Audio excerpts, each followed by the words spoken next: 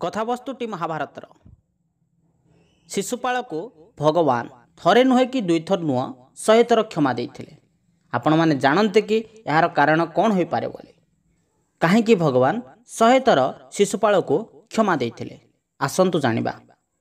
ଶିଶୁପାଳ ହେଉଛନ୍ତି ଚେଦି ରାଜ୍ୟର ରାଜା। ଜଣେ ସୁଶାସକ ଜନ୍ମ ତାଙ୍କର ବିଚିତ୍ର ଥିଲା ତିନୋଟି ଆଖି ଚାରୋଟି ହାତ।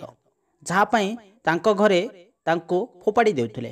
ହଠାତ୍ ଶୂନ୍ୟବାଣୀ ହେଲା ଚିନ୍ତା କରନି ସମସ୍ୟାର ସମାଧାନ ହେବ।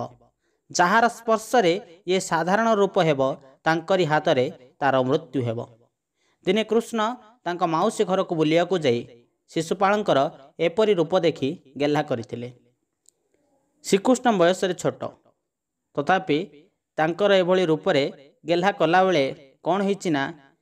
ଶିଶୁପାଳ ପୂର୍ବବତ୍ ଯେମିତି ମଣିଷମାନଙ୍କର ରୂପ ଦୁଇଟି ଆଖି ଓ ଦୁଇଟି ହାତରେ ପରିପୂର୍ଣ୍ଣ ହୋଇଗଲେ। ତାଙ୍କ ମାଉସୀ ଜାଣିପାରିଲେ ଯେ କୃଷ୍ଣଙ୍କ ହାତରେ ଶିଶୁପାଳଙ୍କର ନିଶ୍ଚୟ ବଧ ହେବ। ତେଣୁ କୃଷ୍ଣଙ୍କୁ ଅନୁରୋଧ କରିଥିଲେ ବାପା ତୁ ତାର ଶହେଟି ଭୁଲକୁ କ୍ଷମା କରିବୁ। ଶ୍ରୀକୃଷ୍ଣ ହଁ କରିଥିଲେ। ଶିଶୁପାଳ ବଡ଼ ହେବାରୁ ଜାଣିପାରିଲେ ଶ୍ରୀକୃଷ୍ଣଙ୍କ ହାତରେ ତାଙ୍କର ବଧ ହେବ। ତେଣୁ ଜରାସନ୍ଧର ସାହାଯ୍ୟ ନେଇ ଶ୍ରୀକୃଷ୍ଣଙ୍କୁ ବହୁତ ହଇରାଣ କଲେ। ଏମିତିରେ ଶିଶୁପାଳ ଥିଲେ ଚତୁର୍ଥ ପାଣ୍ଡବ ଅର୍ଥାତ୍ ନକୁଳଙ୍କର ଶ୍ୱଶୁର। ଆଉ ଗୋଟେ କଥା ହେଉଛି ଯେ ଏହି ଶିଶୁପାଳ ବଧର ମୂଳ କାହାଣୀ ମା ରୁକ୍ମିଣୀ। ରୁକ୍ମିଣୀ ଭଲ ପାଉଥିଲେ ଶ୍ରୀକୃଷ୍ଣଙ୍କୁ ଏପରିକି ବାହା ହେବା ପାଇଁ ମଧ୍ୟ ଚାହୁଁଥିଲେ। କିନ୍ତୁ ରୁକ୍ମିଣୀଙ୍କର ବଡ଼ ଭାଇ ରୁକ୍ମ ଚାହୁଁଥିଲେ ଶିଶୁପାଳଙ୍କ ସହ ବିବାହ ହେଉ ବୋଲି। ରୁକ୍ମିଣୀ ହରଣ ହେଲା ଶ୍ରୀକୃଷ୍ଣଙ୍କ ସହ ରୁକ୍ମିଣୀଙ୍କର ବାହାଘର ମଧ୍ୟ ହୋଇଥିଲା ଯାହା ଶିଶୁପାଳଙ୍କ ପାଇଁ ଏକ ଅପମାନ ଥିଲା।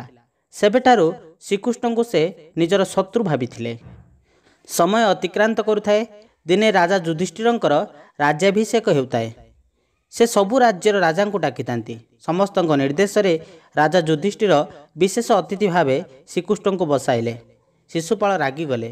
ଶ୍ରୀକୃଷ୍ଣଙ୍କୁ ଗାଳି ଦେଲେ। ପିତାମହ ଭୀଷ୍ମଙ୍କୁ ମଧ୍ୟ ଗାଳି ଦେଲେ। ଏହିପରି ଭାବେ ସେ ତାଙ୍କର ଶହେତମ ଭୁଲ ପର୍ଯ୍ୟନ୍ତ ଅତିକ୍ରମ କରିଗଲେ। କେହି କେହି କୁହନ୍ତି ଶେଷରେ ସେ ଶ୍ରୀକୃଷ୍ଣଙ୍କ ସହିତ ରୁକ୍ମଣୀଙ୍କର ମଧ୍ୟ ଅପମାନ କରିଥିଲେ ଯାହା ତାଙ୍କର ଶହେ ଏକ ନମ୍ବର ଭୁଲ ଥିଲା। ଶ୍ରୀକୃଷ୍ଣଙ୍କ ପାଖରେ ଜଣେ ନାରୀର ଅପମାନ ଅସହ୍ୟ ଥିଲା ତେଣୁ ଶିଶୁପାଳଙ୍କର ବେକ କାଟିଦେଲେ। କାହିଁକି ନା ଭାରତରେ ଗୋଟିଏ କଥା ଅଛି ଯତ୍ର ନାର୍ଯ୍ୟସ୍ତୁ ପୂଜ୍ୟନ୍ତେ ରମନ୍ତେ ତତ୍ର ଦେବତା। ଯେଉଁଠାରେ ନାରୀମାନେ ପୂଜିତ ହୁଅନ୍ତି ସେଠାରେ ଭଗବାନ ସନ୍ତୁଷ୍ଟ ହୁଅନ୍ତି। ତେଣୁ ନାରୀର ଅପମାନ ସମୟରେ ଚୁପ୍ ରହିବା ଉଚିତ ନୁହଁ। କ୍ଷମାସାଗର ନରହରି କ୍ଷମା କରନ୍ତି ମନ ଭରି ତାଙ୍କ କ୍ଷମାରୁ ହେଲେ ପାର ନ କରିପାରେ କେ ଉଦ୍ଧାର। ଆଶା କରୁଛୁ ଶିଶୁପାଳବଧ କଥାବସ୍ତୁଟି ଆପଣଙ୍କୁ ଭଲ ଲାଗିଥିବ ଭଲ ଲାଗିଲେ ଲାଇକ୍ କରନ୍ତୁ ସେୟାର କରନ୍ତୁ ସବସ୍କ୍ରାଇବ୍ କରନ୍ତୁ। ଏମିତି ନୂଆ ନୂଆ ବିଷୟବସ୍ତୁ ଆପଣଙ୍କୁ ଆମେ ଭେଟିଦେବୁ ରହିଲୁ ମନେ ରଖନ୍ତୁ। ଆମ ଚ୍ୟାନେଲ୍ ପାପୁଜି କୁମାର ସାହୁ।